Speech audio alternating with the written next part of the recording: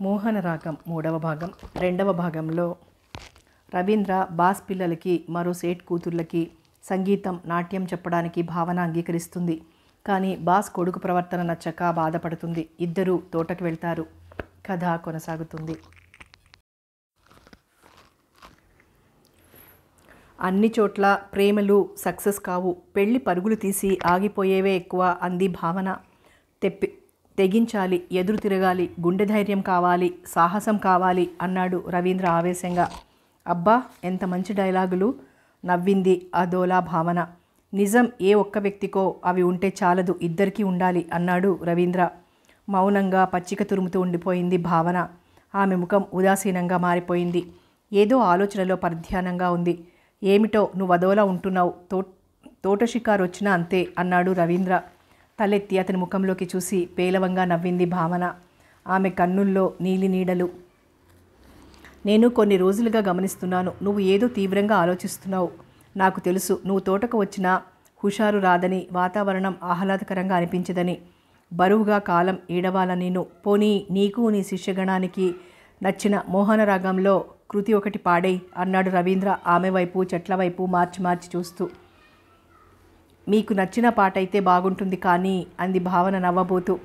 నాకు ఈ రాగాల ఒంపు సొంపలు తెలియవు కదా ఆ మోహన రాగం ఎలా ఉంటుందో నాకు వినాలని ఉంది అన్నాడు రవీంద్ర. ఆమె మడికాళ్ళు వేసుకొని కూర్చొని గొంతు సవరించుకొని కుడి చేత్తో తొడపై తాళం వేసుకుంటూ మోహన రాగం ఆలపించింది. ఆ పచ్చికలో ఒత్తిగిలి పడుకొని తల కింద చెయ్యించుకొని వింటున్నాడు రవీంద్ర.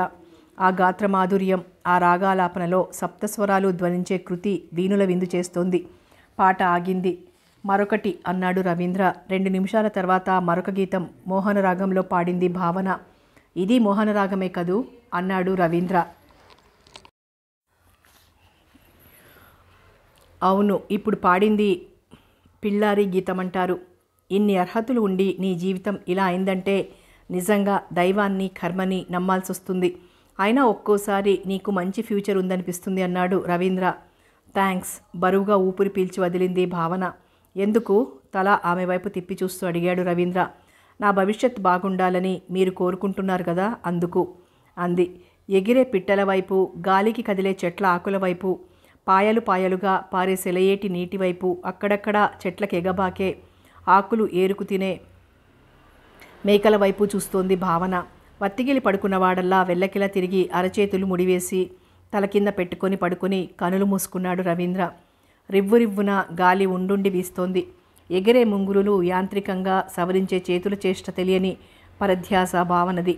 తను తన ఉద్యోగం జీవితం కొలనులో రాయి విసిరి నిశ్చింతను ఒక్కసారిగా చెడగొట్టినట్లు భావన తన ఇంటి పని మనిషిగా ఇల్లు నడిపే వ్యక్తిగా ఒక గృహిణిగా వ్యవహరించటం ఈ పరిణామం ఎలా ఉంటుందో అనే ఆలోచన రవీంద్రకి. నిమిషాలు గంటల్లోకి మారబోతున్నాయి. చివాలన ఏదో గుర్తుకొచ్చిన వాడిలా లేచి కూర్చుంటూ భావన నీకు పేకాడటం వచ్చా? అని అడిగాడు. ఉలికిపాటుగా కదిలి ఏమిటి పిలిచారా? అడిగింది భావన అతని వైపు తల తిప్పి చూస్తూ. ఇప్పుడే ఈ లోకంలోకి వచ్చావన్నమాట అని నవ్వి నీకు పేకాట వచ్చా? అడిగాడు. అంటే పేకాట భావన? వచ్చన్నట్లు తల ఊపింది భావన. వంచి ఉన్న ఆ ముఖంలో పెదవులపై చిరునవ్వు లాస్యం చేసింది. ఎందుకు? రవీంద్ర ప్రశ్న. ఏమిటో మీతో నేను చీట్ల పేక అంటే నవ్వొచ్చింది. నాతో ఎవరూ గెలవలేరు తెలుసా? రెండు మూడు సార్లు ఆడదామా? అన్నాడు రవీంద్ర ప్యాంటు జేబులోంచి పేక తీస్తూ. కిలకిల నవ్వింది భావన. ఎందుకు ఆ నవ్వు? తాను కొంటెగా కనుబొమ్మలెగరేసి నవ్వుతూ అన్నాడు రవీంద్ర. రెండు మూడు పట్లు అట్ అంటే ఏమిటండి? చిన్నపిల్లల అంది భావన. మరి చెప్పు సెట్లాట బాగుంటుందా? అతను ఎదురుగా జరిగి కూర్చుంటూ సరే ముక్కలు పంచండి అంది భావన. అతను గబగబా ముక్కలు కలిపి పరిచాడు. ఎప్పుడో అమ్మాయిగా ఉండేప్పుడు పిక్నిక్కి వెళ్ళినప్పుడు వేసవి సెలవుల్లోనో సరదాగా ఫ్రెండ్స్ అందరం పేకాట వేసుకునే వారం మర్చిపోయి ఉంటాను అంది భావన చేతిలోని తీసుకున్న పేకా సవరించుకుంటూ.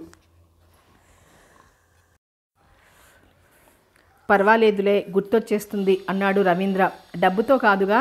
ఓ గడుసుదానివే. డబ్బుతో కాకపోతే హుషారేముంటుంది? నేను తీసుకురాలేదు. ప్రస్తుతం నా దగ్గర డబ్బు లేదు. అప్పు తీసుకో. ఇంటికెళ్ళాక ఇచ్చేద్దు గాని. డబ్బుతో చీట్లపై కాడేంత ధనవంతురాలిని కాదండి నేను. ఒకవేళ నువ్వే గెలిస్తే నేనే ఓడిపోతే నాకు అలాంటి ఆశలు లేవులేండి అంది భావన నవ్వుతూ. కావాలని తప్పుడు ఆటను ఆడి ఓడిపోయేవాడు రవీంద్ర. కొంటతనం మాని సరిగ్గా ఆడితే అని నాలుగు ఖర్చుకుంది భావన. కొంటతనమా అని ఏదో అనకూడని మాట జారిపోయినట్లు తలవంచి నేలచూపులు చూసే భావన ముఖంలోకి చూసి నవ్వుతూ అన్నాడు రవీంద్ర. సారీ కాదండి మీరు కావాలని ఓడిపోయి డబ్బు పోగొట్టుకుంటున్నారేమో అనిపించింది. ఇంకా ఉన్నవి రెండు రూపాయలు మాత్రమే. అవి అయిపోతే అవాల్టిలా ఏటి ఒడ్డుకు పోయి భోజనం చేద్దాం అన్నాడు రవీంద్ర జేబులోని రెండు రూపాయల కాగితం చూపిస్తూ. ఊరికనే సరదాకి మీరు డబ్బుకు పోతే బాగుండదని అన్నాను కానీ ఈ డబ్బు మీదేనండి? అంది భావన. నువ్వు గెలిచి సంపాదించుకున్న డబ్బు నాకెందుకు? నవ్వుతారు ఎవరైనా. ఎవరూ అనుకోర్లే. చెయ్యి చాపి అవతల గట్టున ఉన్న జామ చెట్టు కొమ్మలపై ఉన్న కుర్రాళ్ళను చూపిస్తూ అన్నాడు రవీంద్ర. నవ్వింది భావన. ఓ మీరా? పర్లేదులేండి అన్నాడు రవీంద్ర. మీరు బాగా మాట్లాడగలరు కానీ నాకెందుకండి ఈ డబ్బు? భోజనం కాఫీ మీ ఇంట్లో గడిచిపోతున్నాయి. ప్రైవేట్లకి ఇచ్చే డబ్బు మీ బీర్వా లాకర్లో పెట్టేశాను అంది భావన. నా బీర్వా లాకర్లోనా? నాకెందుకు? ఇంకేం మాట్లాడొద్దు. ఎప్పుడో చెప్పాను కదా మీ డబ్బు ఊరికే తీసుకోవడం బాగోలేదని.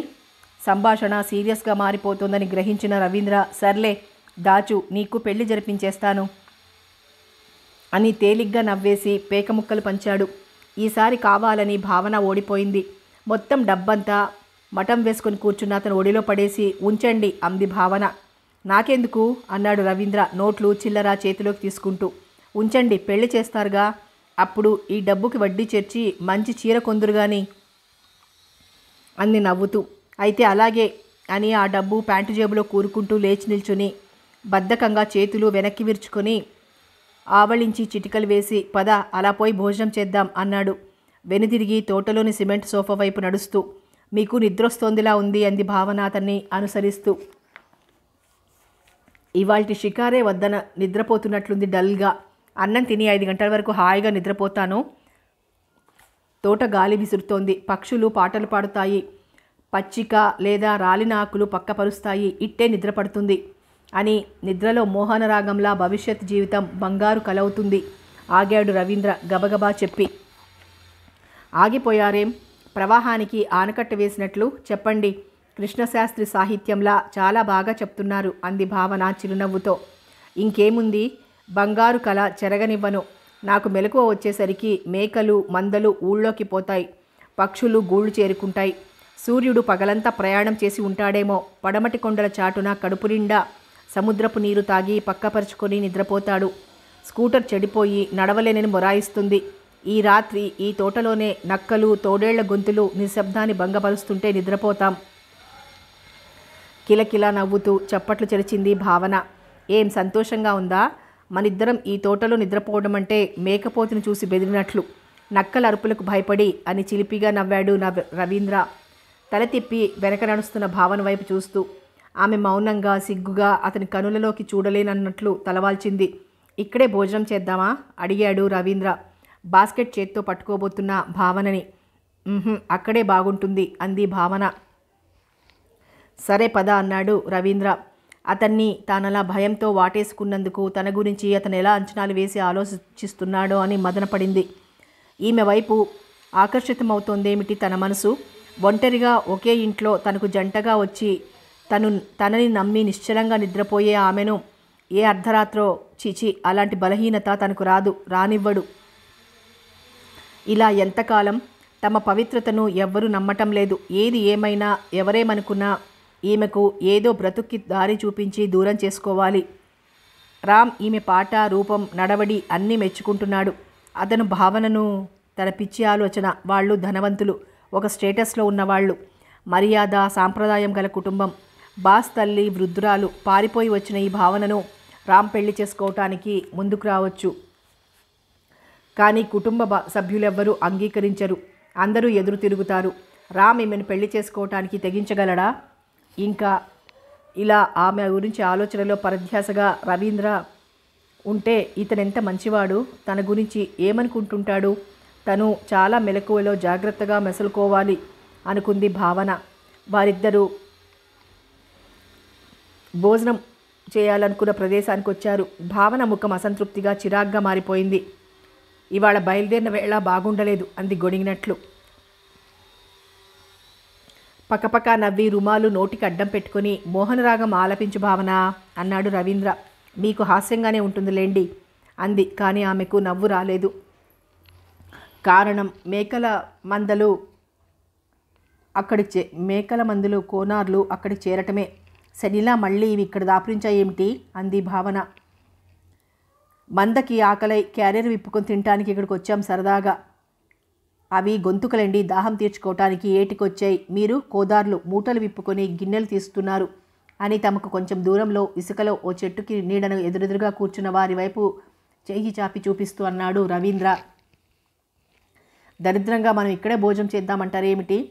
నవ్వు పెదాల చాటున దాచుకుంటూ అతని వైపు చూసింది భావన. నమస్కారం అండి బాబుగారు. ఇద్దరూ ఒకేసారి అటువైపు చూశారు. రవీంద్ర చిరునవ్వుతో నమస్కారం నమస్కారం అన్నాడు. మీరు మాకు నమస్కారం పెడతారేమిటండి? అన్నాడు. పెద్దోళ్ళు అలాగే ఎడతారులే అన్నాడు మరొకడు. నీటిలో దిగిన గొర్రెలు మేకలు ఒడ్డుకు చేరుతున్నాయి. ఏమండి పోయి తోటలోనే భోంచేద్దాం అంది భావన.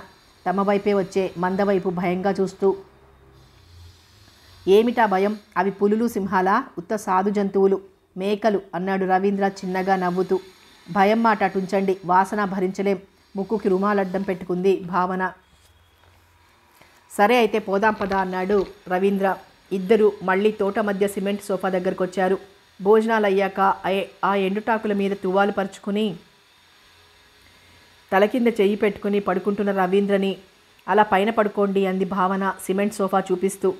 ఆహా ఈ ఆకులపైనే మెత్తగా ఉంది. నువ్వు పడుకో అక్కడ. ఈసారి వచ్చినప్పుడు దిండు దుప్పటి అవి తెచ్చుకోవాలి అన్నాడు రవీంద్ర. భావన నవ్వి బాగుంది అంది. అప్పుడు మోహనరాగంలా ఉంటుంది మన షికారు అన్నాడు. అంటే మోహనరాగం ఎలా ఉంటుందని మీ ఉద్దేశం? ఆమె గొంతులో రవంత రోషం. చెప్పనా? చెప్పండి. కమ్మగా తీయగా మధురంగా హాయిగా ఇంకా అని బుర్ర తడుముకున్నాడు రవీంద్ర. నాకు ఇష్టమైన మోహన రాగాన్ని ఎవరు ఆక్షేపించినా అవహేళన చేసినా సహించలేను అంది భావన. తానొక తువ్వాలు అతనికి కొంచెం దూరంలో పరుచుకుంటూ. మోహన రాగంలో ఉండే అందచందం తెలిసినవారు విన్నవారు కొద్దిగానైనా సంగీత పరిజ్ఞానం ఉన్నవారు ఎవ్వరూ ఆక్షేపించరు అన్నాడు రవీంద్ర. సంతోషించాంలేండి అని తల కింద చెయ్యి పెట్టుకొని వత్తిగిలి పడుకుంటూ అబ్బా ఇవాళేమిటో అలసటగా ఉంది బాబు అని కన్నులు మూసుకుంది భావన. తన వైపే తిరిగి వత్తిగిలి పడుకున్న ఆమె తీరు ఆమె ముఖం చూసిన రవీంద్ర అందమైనదే అనుకొని ఆమె వైపు ఆకర్షితమవుతున్న మనసుని మళ్ళించుకోవటానికి అన్నట్లు అటువైపు తిరిగి పడుకున్నాడు. చల్లటి గాలి నిశ్శబ్ద వాతావరణం. ప్రయాణ బడలిక కాసేపట్లో ఇద్దరికీ నిద్ర పట్టింది. ముందుగా మెలకువ వచ్చింది భావనకే. రవీంద్ర వైపు ఓసారి చూసింది. అతను ఇంకా నిద్రపోతున్నాడు. సిమెంట్ సోఫా వైపు నడిచి దాని మీద కూర్చుని బద్ధకంగా ఒళ్ళు విరిచి బాస్కెట్లో ఉన్న అద్దం తీసి ముఖం చూసుకుంది. ఏటికి వెళ్ళి ముఖం కడుక్కోవాలి అనుకునేసరికి కడగని గిన్నెలు గుర్తుకొచ్చాయి. పొద్దువాలి తోటలో చీకట్లు అలుముకుంటున్నాయి. చివాలన లేచింది. ఏవండి? పిలిచింది రవీంద్రని. అతను పలకలేదు. అతను దగ్గరగా నడిచి ఒకటి రెండు సార్లు పిలిచింది. అతను కావాలనే పలకలేదు. కూర్చొని వంగి అతని చెవి దగ్గర ముఖం పెట్టి ఏమండి? గొంతు పెద్దది చేసి పిలిచింది భావన. కళ్ళు నులుము చే కళ్ళు నులుముకొని లేచి కూర్చుంటూ ఎందుకు మోహనరాగం? అన్నాడు రవీంద్ర. మోహనరాగమా? ఉడుకు మొత్తం వచ్చింది భావనకి.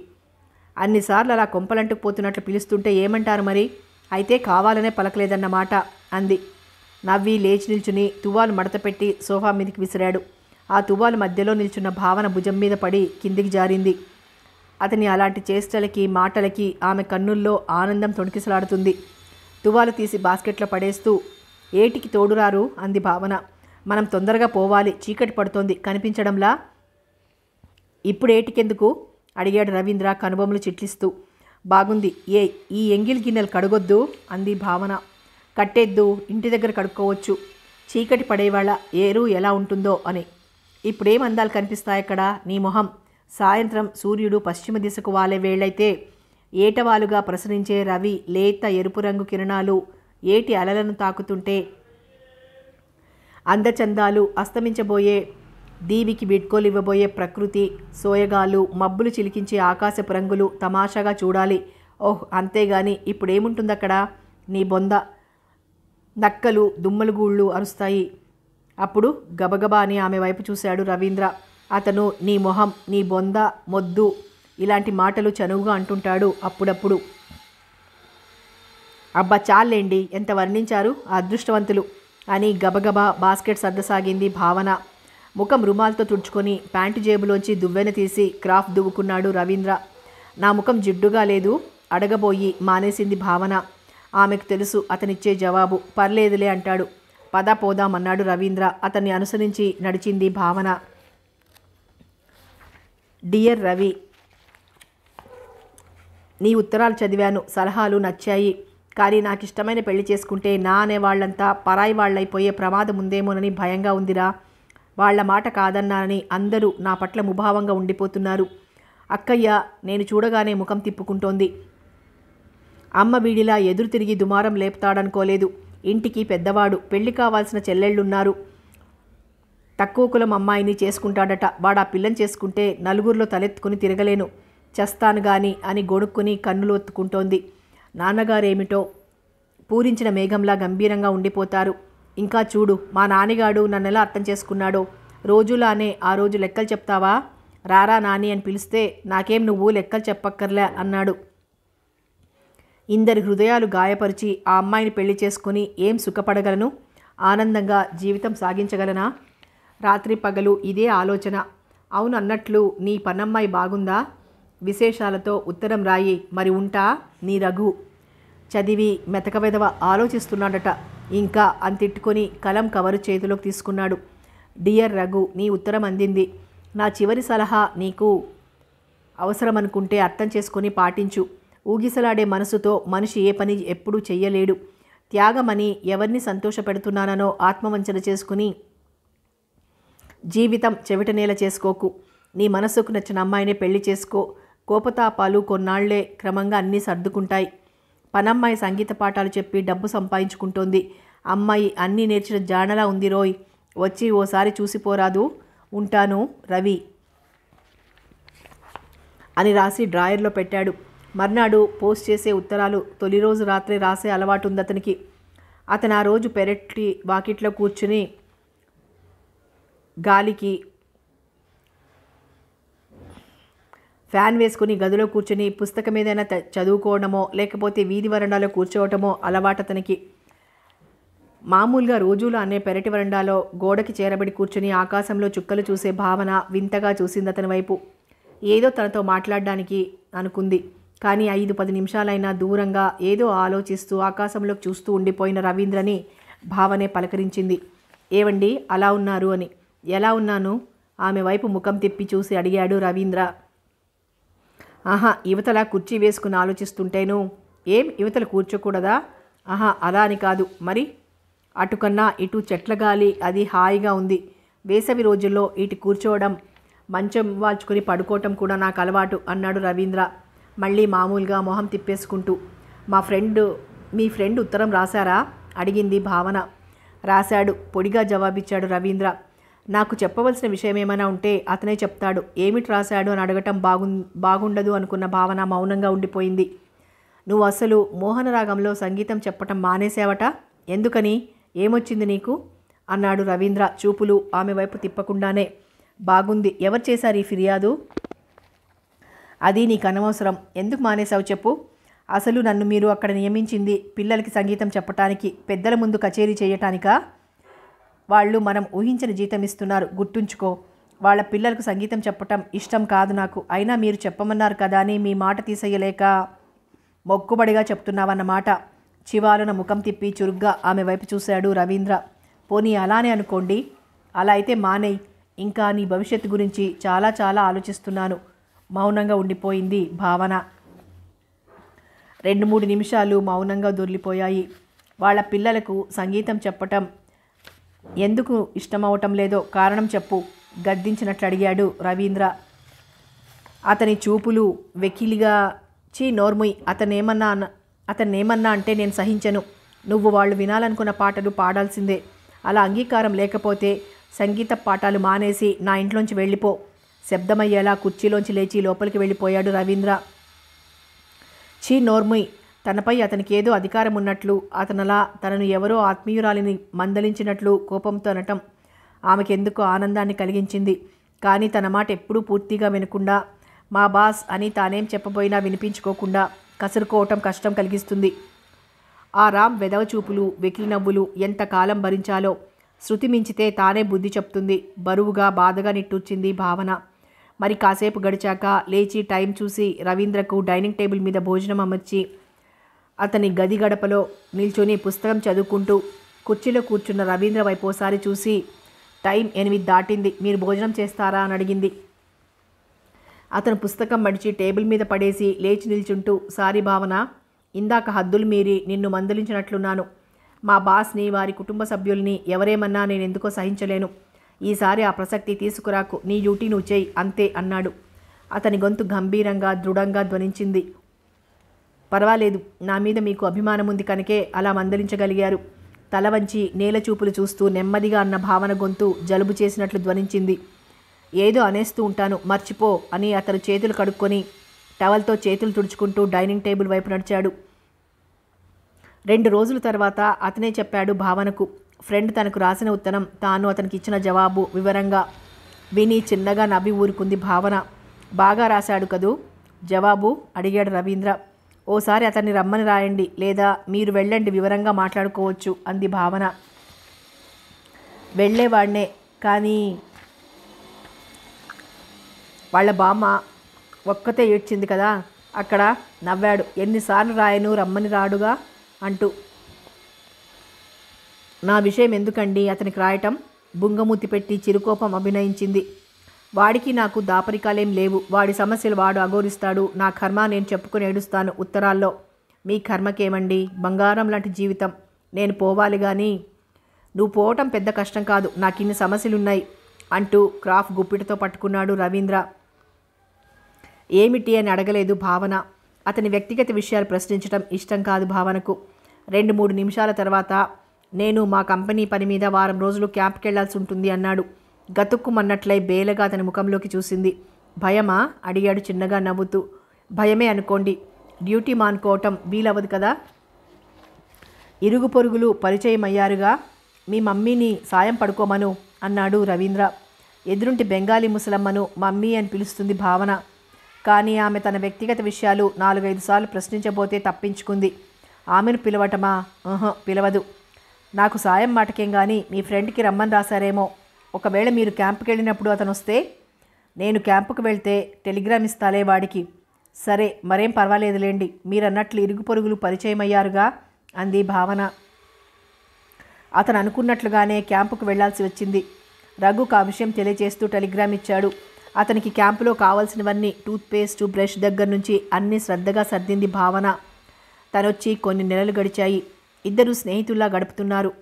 ఈరోజు భావనకు దూరంగా వెళ్తున్నాడు. రవీంద్రకేదో ప్రియమైన వారికి దూరం అవుతున్నట్లు బాధ అనిపించింది రేపటి నుంచి మళ్ళీ అతను తిరిగి వచ్చే వరకు తానొక్కతే వండుకొని తినాలి. అతన్ని చూడకుండా గడపటమేలా? ఆమె కళ్ళల్లో నీరు తిరిగింది. అతను బూటులేసులు మూడేసుకుంటూ అనుకున్నాడు. ఎప్పుడో ఒకప్పుడు తనకు దూరంగా పోవలసిందేగా?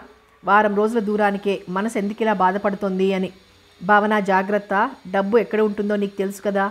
అవసరాలకి వాడుకో. రామ్కి చెప్పానులే చూసిపోతుంటాడు ఆ అమ్మాయిలు కూడా వస్తారు అని చెప్పి తొందర తొందరగా వెళ్ళిపోయాడు రవీంద్ర. రామ్ వచ్చి చూసిపోతుంటాడా ఆమె గుండె భయంతో కొట్టుకుంది. అతను వస్తే ఏం చెయ్యాలి? తలుపులు తీయదు లేదా పొరుగింటికి వెళ్ళిపోతుంది. అది కాకపోతే వీధి గడపలోనే నుంచోపెట్టి రెండు మాటలు మాట్లాడి పంపేస్తుంది. ఏం చేస్తాడే? తనకు తాను ధైర్యం చెప్పుకుంది. కానీ ఆ రోజు బాస్ గారి పిల్లలకి పాఠం చెప్పడానికి వారింటికి వెళ్తే తన కోసమే వీధి గడపలో ఎదురుచూస్తూ నిల్చున్నట్లున్న రామ్ విష్ చేశాడు. అతన్ని తప్పించుకుని లోపలికి నడిచింది భావన.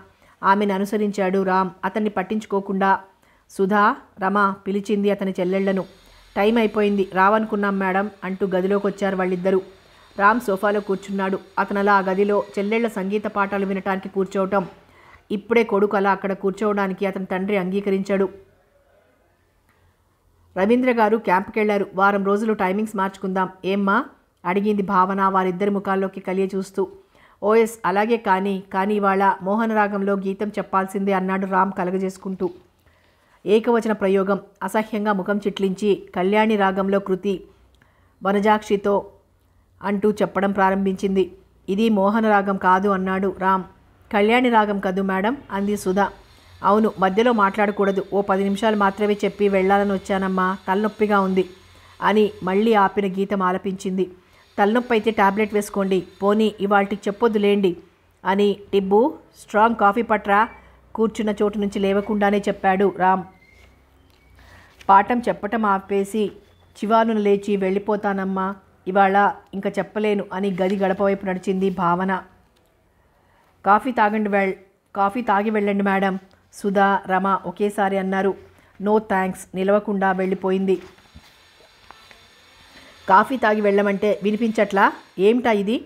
వీధి వరండా వరకు ఆమె వెంట తరుముతున్నట్లు నడిచొచ్చాడు. రామ్ ఆమె వినిపించుకోలేదు. నువ్వు అలా అని అని ఉండాల్సింది కాదన్నయ్యా అంది సుధా. అసలు ఇవాళ ఈ గదిలో ఎందుకు నువ్వు తిష్టవేశావు నాన్నగారితో చెప్తానుండు అంది రామ. నేనేం తప్పు చేశానే? నాన్నగారితో ఫిర్యాదు చేయటానికి? దీనికే ఈ పొగరు కానీ రవీంద్ర ఏం చెప్పారో తెలుసా? ఈమె ఒక్కతే ఉంటుంది కాస్త యోగక్షేమాలు కనుక్కుంటూ ఉండమని అన్నాడు రామ్.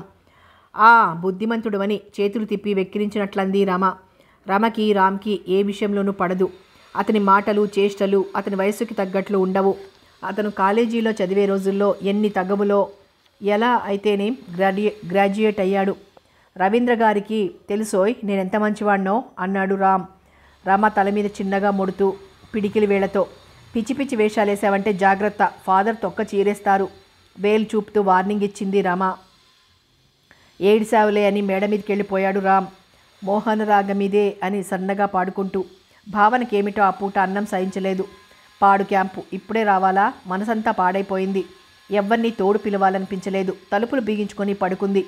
కాస్త భయమని భయం అనిపించకపోలేదు అయినా మొండిగా కనులు మూసుకుంది. మర్నాటి ఉదయం పది గంటల వేళ కిటికీ చువ్వల మధ్య నుంచి దృష్టి సారించిన భావనకు తమ ఇంటి వైపు రామ్ రావటం కనిపించింది. వెంటనే మెరుపులాంటి ఆలోచన పూల మొక్కల మధ్య తచ్చాడుతున్న బెంగాలీ ముసలమ్మని మమ్మీ మమ్మీ తొందరగా ఓసారి రా అని పిలిచింది. ఆమె వచ్చింది ఆతృతగా. ఎందుకు పిలిచావు? ఏమైంది? అంటూ. ఏం లేదు కాసేపు కూర్చోండి మమ్మీ అంది భావన కుర్చీ వేస్తూ ఆమె కూర్చుంది. హలో భావన హవారియు అంటూ వచ్చాడు రామ్. మామూలుగా ఉందామనే ఉండలేకపోయింది భావన. ముఖం చిట్లించి అసహ్యంగా అతని వైపు చూస్తూ మీ దయ వల్ల బాగున్నాను అంది. ఆమె కూర్చోమనకుండానే సోఫాలో కూర్చొని సిగరెట్ వెలిగించాడు. చేతులు కట్టుకొని గోడకు చేరగలిబడి నిల్చుంది భావన. మమ్మీ ప్రశ్నలు. వంట చేసుకున్నావా? ఏం కూర చేశావు? అతను ఎప్పుడొస్తాడు? నీకు తోచుతుందా? అలాంటి ప్రశ్నలకి పరధ్యానంగా జవాబులిస్తోంది భావన. ఈ వారం నువ్వు మా ఇంట్లో ఉండిపోతే పోయేదిగా సరదాగా గడిపేవాళ్ళం అన్నాడు రామ్. చురుగ్గా అతని వైపు ఓసారి చూసి మౌనంగా చూపులు తిప్పుకుంది. మా ఇంటికి వచ్చేయి రాదు అన్నాడు. ఈ మమ్మీ రవీంద్ర గారు వచ్చే వరకు నాకు తోడుగా ఉంటారు అంది భావన అతని వైపు చూడకుండానే. రవీంద్ర నాకు అలా చెప్పలేదే. అర నిమిషం ఆగి అబద్ధమన్నాడు. రామ్ మీరేమనుకున్నా నాకు అభ్యంతరం లేదు. చివాలన లేచి సరే అయితే అని ఓసారి చూసిపోతుండు అంటే వచ్చాను. నాకు పనిలేక కాదు అంటూ విసురుగా వెళ్ళిపోయాడు. హమ్మయ్య అని గుండెల మీద చేయించుకొని తేలిగ్గా గాలి పీల్చుకుంది భావన. మమ్మీకి కాస్త చెవుడు. అది కాక వాళ్ళు హిందీ ఇంగ్లీష్ తెలుగు కలిపి మాట్లాడి నాలుగు మాటలు అర్థం కాలేదు. అతనెవరు అని మమ్మీ ప్రశ్నకు రవీంద్ర గారి ఫ్రెండ్ చూసిపోదామని వచ్చాడు అని చెప్పింది. నన్నెందుకు పిలిచావు అని అడిగింది. తోచట్లేదు కాసేపు కూర్చుంటావని అని నవ్వేసింది. అలా పిలిచేస్తుంటే దొంగలు పడినట్లు గాబరా పడిపోయాను అని లేచి వస్తా అని నెమ్మదిగా అడుగులు వేస్తూ వెళ్ళిపోయింది. ఇరుగు పొరుగులలో ఉత్త పరిచయమే గాని స్నేహం చేయలేదు భావన. ఆమెకు తెలుసు. తనకు రవీంద్రకు ఏదో గట్టి సంబంధమే ఉండి ఉంటుందని రకరకాలుగా చెప్పుకుంటారని. స్నేహం చేస్తే పరువు తీసుకుని చనువు తీసుకొని ఆరాలు లాగటానికి ప్రయత్నిస్తారని భయం. బాస్ ఇంటికి కానీ సేట్ ఇంటికి కానీ ఆ మర్నాడు మూడవ రోజు కూడా పాఠాలు చెప్పడానికి వెళ్ళలేదు. సేట్ ఇంటి నుంచి నౌకర్ వచ్చాడు. ఎందుకు రాలేదో కనుక్కురమ్మన్నారని తలనొప్పి కొద్దిగా జ్వరం తగ్గగానే వస్తారని చెప్పు అంది భావన. సేట్ గారు అమ్మాయిలు యాపిల్ ద్రాక్ష పళ్ళు పట్టుకుని వాళ్ళు రావటమే కాక సుధారమ్మల్ని కూడా తీసుకొచ్చారు. వాళ్ళని ఆప్యాయంగా తలనిమురుతూ నేనంటే మీకింత గౌరవ అభిమానాలున్నాయా తల్లి అని పలకరించి వాళ్ళకి టీ చేసిచ్చి ఏమాత్రం రిలీఫ్ ఇచ్చినా తప్పకుండా వస్తాను మీరు ప్రాక్టీస్ చేస్తూ ఉండడం మానద్దు అని చెప్పింది. వాళ్ళు వెళ్ళాక తలుపు వేసి లోపలికొచ్చిందో లేదో తలుపు వేళ్ళతో టకటకా కొట్టిన శబ్దం రామ్ గాని రాలేదు కదా ఆమె గుండెలు భయంతో వణికాయి. తలుపు గడియ తీయబోయి ఆగి ఎవరు? అని అడిగింది. నేను రవీంద్ర ఫ్రెండ్ని. నా పేరు రఘు. చప్పున తలుపు తీసింది భావన. ఒకరి ముఖాల్లోకి ఒకరు చూసుకున్నారు. ఇద్దరి పెదవులు పలకరింపుగా చిరునవ్వుతో విచ్చుకున్నాయి. బాగున్నారా పనమ్మ పనమ్మాయి గారు? అడిగాడు రఘు. మీ దయవల్ల అనుకుంటున్నాను. మీరెప్పుడో వస్తారని. రండి ఆహ్వానించింది భావన. ఎందుకో అతన్ని చూడటంతోనే ఆమె కళ్ళల్లో నీరూరింది రావాలని నేను అనుకుంటున్నాను కానీ సమయం సందర్భం రావాలి కదా మరి? అని చనువుగా షర్ట్ విప్పి స్టాండ్కు తగిలించి బాత్రూమ్కి వెళ్ళి ముఖం కడుక్కొచ్చి బ్రీఫ్ కేస్ తెరిచి తువాలు తీసుకోబోతుంటే ఇదిగో టవల్ లుంగి తీసుకోండి. రవీంద్ర టవల్ లుంగి అందివ్వబోయింది. వద్దులేండి అన్నాడు. స్ట్రాంగ్ కాఫీ కావాలి అడిగాడు రఘు బట్టలు మార్చుకొని పక్క గదిలో ఉన్న భావనకు వినిపించేలా. ఐదు నిమిషాల్లో కాఫీ గ్లాస్ అతని చేతికి అందించి తెరిచి ఉన్న బీది తలుపు వేసి వచ్చింది భావన. కాఫీ సిప్ చేస్తూ రవీంద్ర ఎప్పుడొస్తాడట? అడిగాడు. రెండు రోజుల్లో రావచ్చు. అతను కుర్చీలో కూర్చుంటే అతను ఎదురుగా నిల్చుని చెప్పింది భావన. మీకేమైనా ఉత్తరం రాశాడా? తల అడ్డంగా ఊపింది. వంట చేసేశారా? లేదు. గెస్ట్ ఒక్కడనే ఉన్నానుగా. ఏదో కూర చారు. కుక్కర్ పెట్టే రండి అన్నాడు.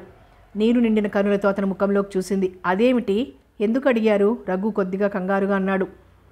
నాకేమిటో చాలా భయంగా ఉందండి. మరేం పర్లేదు. ప్రామిస్ మా రవీంద్ర చాలా మంచివాడు. నేను మీరు ఇంట్లో రెండు రోజులున్నా అపార్థం చేసుకోడు. ఆహా అది కాదు అంది భావన. మీ గురించి తన ఉత్తరాల్లో ప్రస్తావిస్తుంటాడు రవీంద్ర. ముందు మీరు కుక్కర్ స్టవ్ మీద ఉంచరండి అన్నాడు. వెళ్ళిపోయింది భావన కళ్ళొత్తుకుంటూ. తాను కూర్చున్న గదంతా కలియ చూసి హమ్మయ్య అని తేలిగ్గా ఊపిరి పీల్చి వదిలాడు రఘు. రవీంద్ర ఉద్యోగంలో ఇక్కడికి వచ్చాక నాలుగు సార్లు వచ్చి వెళ్ళాడు. అతను అస్థిమితంగా ఉన్నాడని ధైర్యం చెప్పడానికి.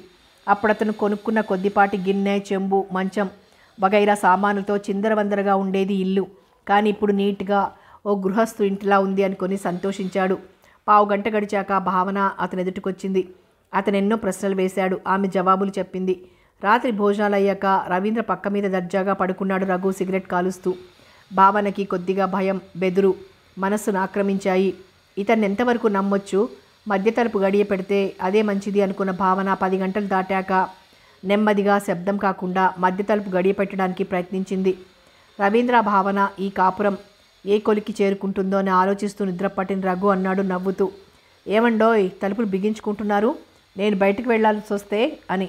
ఆహా లేదు లేదు కంగారుగా అంటూ తన మంచం వైపు జరిగింది భావన. నా వల్ల మీకు ఎటువంటి అపాయం జరగదు. హాయిగా నిద్రపోండి. నేను రవీంద్ర ఫ్రెండ్ని. ఒక మాట ఉంది తెలుసా? ఒక వ్యక్తి ఎటువంటి వాడో తెలుసుకోవాలంటే ముందు అతని స్నేహితుని వ్యక్తిత్వం తెలుసుకో అని. మీరు ఇంకా నిద్రపోలేదా? అడిగింది భావన. తన నడిమంచం మీద కూర్చుంటూ కొత్త ప్రదేశం అదీ కాక మీకులాగే నాకు నిద్ర పట్టడం లేదు అన్నాడు రఘు. తర్వాత ఎవ్వరూ మాట్లాడలేదు. ఏ రాత్రో నిద్ర పట్టేసింది ఇద్దరికి. మర్నాటి ఉదయం అలవాటున్న ఇల్లే గనక కాలకృత్యాలు తీర్చుకొని స్నానం కాఫీ టిఫిన్ అయ్యాక ప్రయాణమయ్యాడు వెళ్ళిపోతానని రఘు. రవీంద్ర గారు వచ్చేదాకా ఆగి వెళ్ళండి అనే మాట నాలుక చివరి వరకు వచ్చి ఆగిపోయింది. కిటికీ చువ్వల మధ్య నుంచి రాత్రి ఎవరో గదిలోకి చూసినట్లయింది. జాగ్రత్తగా అన్ని తలుపులు మూసుకొని నిద్రపోండి. ఎవరినన్నా తోడు పిలుచుకోండి అని చెప్పి వెళ్ళిపోయాడు రఘు గది దాటి. రాత్రి ఎవరో కిటికీ చూవల మధ్య నుంచి గదిలోకి చూశారు. ఎవరై ఉంటారు? ఆలోచనలో పడింది భావన. నిజంగా దొంగ పడితే తానేం చెయ్యాలి? డబ్బు పట్టుకుపోతే పర్వాలేదు. రవీంద్ర అర్థం చేసుకుంటారు. కానీ ఆహా మమ్మీని సాయం పిలుచుకుంటుంది. ఏవండి? రఘు అని పిలవబోయి ఆగిపోయింది. అతని వివాహ విషయంలో ఏం నిర్ణయం తీసుకున్నాడో అడగాలని కానీ అతను తానంతట తానే చెప్తే వినాలి కానీ తాను ప్రశ్నించడం సంస్కారం కాదని ఆగిపోయింది. కాఫీ టిఫిన్ వంట ఏమీ చేసుకుని తినటానికి బుద్ధి కావటం లేదు. ఆమె స్వాధీనంలో లేకుండానే ఆమె మనసు క్షణం క్షణం రవీంద్ర రాక కోసం ఎదురు చూస్తోంది అతని గురించి ఆలోచిస్తోంది. ఎవరో తెలియని స్త్రీకి ఆశ్రయం ఇచ్చి ఆమె పట్ల ఒక సోదరులా ప్రవర్తించటం ఎంత ఉన్నతమైన వ్యక్తిత్వం? తలుపు చేరవేసి లోపలికెళ్ళిపోయింది భావన. ఆ రాత్రి మమ్మీని తోడు రమ్మని పిలిచింది. ఆమె ప్రశ్నలకి జవాబులు ఇవ్వటం దాటేసి ఆమెను ప్రశ్నలు వేసి ఆమె చెప్పే పాతకాలపు కబుర్లు వింటూ నిబ్బరంగా గడిపింది. కథ కొనసాగుతుంది.